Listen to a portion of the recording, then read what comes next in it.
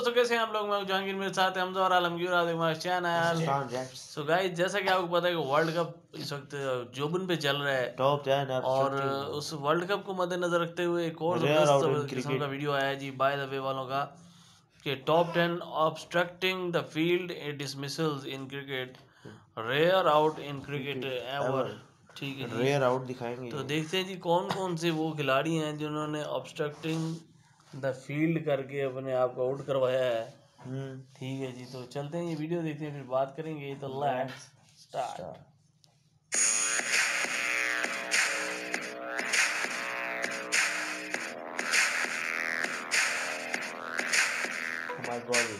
दोस्तों अगर आप भी क्रिकेट मैचेस देखते हैं तो ये बात तो आपको मालूम ही होगी।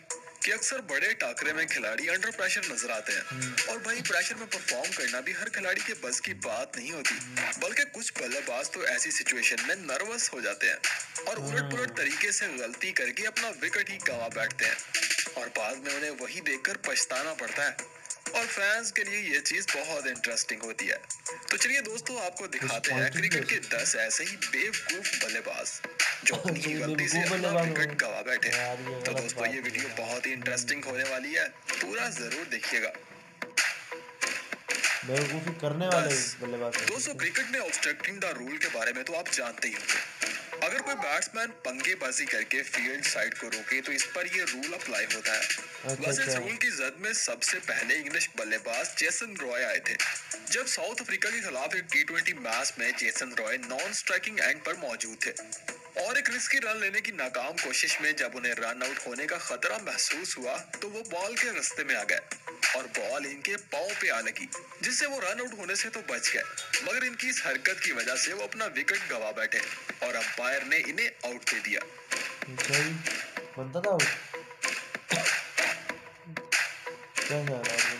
मेरे ख्याल में दोस्तों पाकिस्तान और इंडिया का मुकाबला हमेशा ही कांटेदार होता है और ऐसे मैच में खिलाड़ी अक्सर अपने जोश पर काबू नहीं रख पाते और कभी कभार ऐसा भी कर जाते हैं जो क्रिकेट के रूल्स के खिलाफ होता है। जैसे आप इस वीडियो क्लिप में चल रहे इंडिया और पाकिस्तान के दरमियान इस मैच को ही देख लीजिए। जब इंजमाम ने क्रीज से निकलकर एक स्ट्राइक खेला और वापस क्रीज में लौट ही रहे थे कि इंडियन खिलाड़ी सुरेश रैना ने इन्हें रन आउट करने के लिए थ्रो दे मारी जिसे इंजमाम ने बड़ी ज़िंदा दिली से दोबारा बल्ले के साथ रोक दिया। मगर वो जाने में क्रिकेट के रूल्स के खिलाफ चले गए जिस पर इन्हें अपना विकेट गंवाना पड़ गया। बहुत ही गलत डिसीज़न था।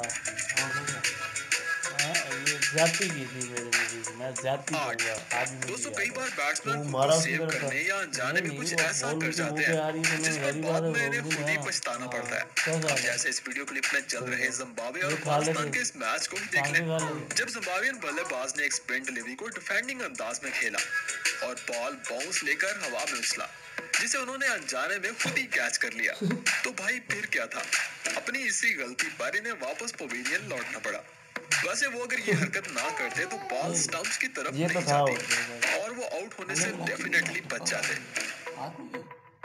जैसे ही बल्ले वाला के ऊँचे दोस्तों क्रिकेट में ऑब्स्ट्रक्टिंग द फ़ील्ड तब अप्लाई होता है जब बल्लेबाज जानबूझकर कुछ ऐसा करे जिससे उसका विकेट बच जाए। और अगर बैट्समैन इंजरी से बचने के लिए ऐसा करता है तो इसे आउट नहीं दिया जाता। मगर जरा इस वीडियो क्लिप में चल रहे ऑस्ट्रेलिया और इंग्लैंड के दरमियान इस मैच को देखिए। जब मिचेल स्टार्क की एक तेज डिलीवरी को बेन स्टोक ने स्ट्रेट खेला। और स्टार्क ने बॉल लेते ही विकेट की तरफ़ थ्रो किया। जिसे बेन स्टोक ने हाथ से रोक लिया और अंपायर ने इन्हें आउट दे दिया। वैसे मेरे ख्याल में यहाँ बैन स्टोक ने स्टम्प्स को नहीं बल्कि खुद को बचाने के लिए ऐसा किया था। आपका इस बारे में क्या ख्याल है? कमेंट में ज़रूर बताइएगा। मुँह बजाया हाँ। मुँह बजाने के लिए अचानक हाथ ऑटोमेटिक आ गया। दोस्तों कभी कभार कुछ खिलाड़ी अनइंटेंशनली भी कुछ ऐसा कर जाते हैं जैसा करना वो बिल्कुल भी नहीं चाहते। मगर सिचुएशन इन्हें ऐसा करने पर मजबूर कर देती है। जैसे इंडिया और ऑस्ट्रेलिया के दरमियान चल रहे इस मैच में हुआ जब एक स्पिन डिलीवरी इंडियन बल्लेबाज अमरनाथ के बल्ले से लग के स्टम्प्स की तरफ़ गई जिसे ना चाहते हुए भी अमरनाथ ने अपने हाथ से रोक लिया। मगर तो वो जानते थे कि ऐसा करना रूल्स के खिलाफ है। फिर क्या था कि अंपायर का फैसला सुने बिना ही पवेलियन की तरफ़ लौट गए क्योंकि वो जानते थे कि वो आउट हो चुके हैं।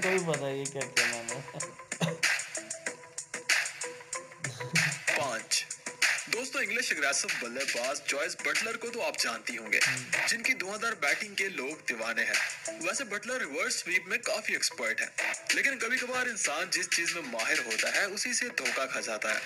जैसे इस वीडियो क्लिप में चल रहे एक बिग बैश लीग के मैच में हुआ जब बटलर ने रिचर्डसन की एक स्लो डिलीवरी को रिवर्स स्वीप करना चाहा, मगर वो बल्ले पर अपनी ग्रिप खो बैठे। और अपने ही बल्ले से स्टंप्स को हिट कर दिया। और जिस चीज़ के वो माहिर थे वही इन पर हंसने की वजह बन गई।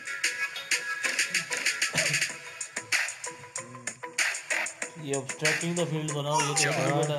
दोस्तों क्रिकेट की तारीख में कई स्पीड मास्टर और खतरनाक बॉलर भी गुजरे हैं जिनके सामने अच्छे अच्छे बल्लेबाजों के पसीने छूट जाते थे।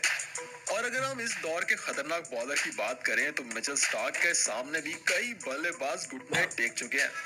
इनका सामना करना बल्लेबाजों के लिए कितना मुश्किल होता है, आप इस वीडियो क्लिप में दिखाए गए श्रीलंका और ऑस्ट्रेलिया के इस मैच में देख लीजिए।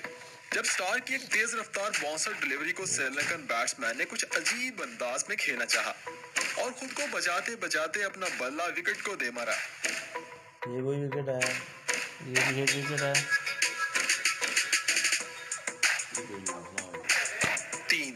दोस्तों तो अगर आप क्रिकेट मैचेस देखते हैं तो आपने बल्लेबाजों को अजीब अजीब तरीकों से आउट होते तो देखा होगा। मगर कुछ इस तरह का रिएक्शन शायद आपने पहले कभी नहीं देखा होगा। जैसा डोमेस्टिक लीग के इस मैच में इस बल्लेबाज के साथ हुआ। इस बैट्समैन ने बॉलर की एक फास्ट डिलीवरी को बड़े ही स्टाइलिश अंदाज से डिफेंड किया। और बॉल ज़मीन पर लगने के बाद दोबारा हवा में उछला। तो बल्लेबाज ने बड़ी महारत से फुटबॉल की तरह इसे पाँव से विकेट पर गिरने से रोका और हाथ से पकड़ लिया। और फिर उसे याद आया कि उसने तो रूल तोड़ दिया है। जिस पर उसने जल्दी से हाँ। बॉल को फेंक दिया। मगर भाई अब तो कुछ नहीं हो सकता। अब तो आपको वापस लौटना ही पड़ेगा। हाथ गलती से लग गया। तो दोस्तों कभी कभार कुछ बल्लेबाज ऐसे बेकार तरीके से आउट हो जाते हैं कि इन्हें अपनी बदकिस्मती पे बहुत ज़्यादा गुस्सा आता है और दिल ही दिल में खुद को कोसते रहते हैं। कुछ ऐसा ही वेस्ट इंडियन बल्लेबाज रसल के साथ एक बिग बैश लीग के मैच में हुआ। जब बॉलर का एक तेज रफ्तार बाउंसर जिसे खेलने की कोशिश में रसल नाकाम हुए जिससे वो अपना तवाजन खो बैठे और उनका अपना ही बल्ला विकेट्स के ऊपर जा गिरा। वैसे इस तरह आउट होने पर रसल को गुस्सा तो बहुत आया होगा।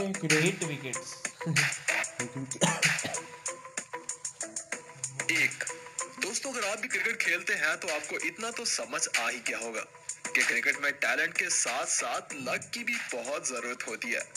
वरना कई बार खिलाड़ी अच्छा खेलने के बाद भी अपनी टीम को जितवा नहीं पाते। इस खेल में बिना लक के बड़े बड़े खिलाड़ी ढेर हो जाते हैं। जैसे आप इस वीडियो क्लिप में चल रहे इंडिया और ऑस्ट्रेलिया के इस मैच में ही देख लीजिए। जब ब्रेटली की एक बॉल को यूवी ने ऑन साइड पर खेलना चाहा, मगर बॉल इनके पैड पर लगकर हवा में उछल गई।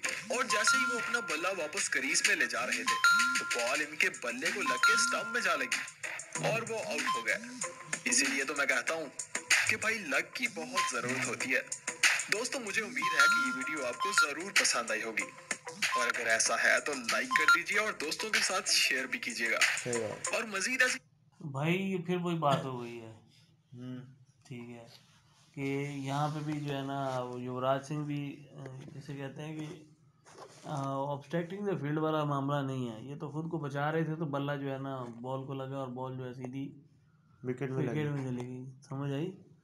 तो इधर भी वो मामला नहीं है। मामला तो कुछ ऐसे थे कि एक जगह पे और भी था। इंजी भाई की एक और इनिंग्स थी मुझे याद है। बहुत बड़ी इनिंग्स चल रही थी वो भी। हम्म। और इंग्लैंड के खिलाफ वो मैच था टेस्ट मैच था। और उस वक्त भी बॉल उन्होंने सीधा खेला। ठीक है। तो उन्होंने स्टीवन हार्मिसन ने बॉल मारा तो वो रन आउट किया उन्होंने। अच्छा। हालाँकि उन्होंने उस बॉल से बचने की कोशिश की है।